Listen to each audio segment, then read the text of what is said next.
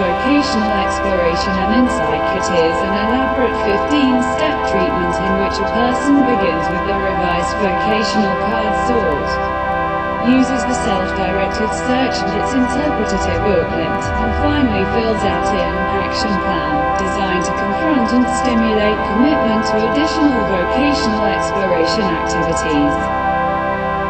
The directions tell the user to complete the VEIK in several sessions on different days.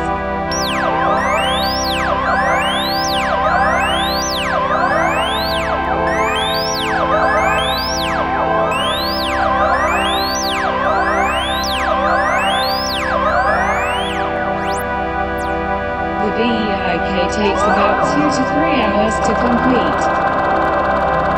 The vocational card sort includes nine steps that instruct the user to sort 84 occupational titles.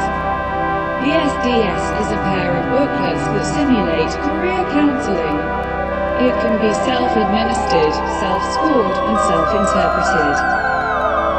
It has a substantial base of studies examining its functional utility or therapeutic effects.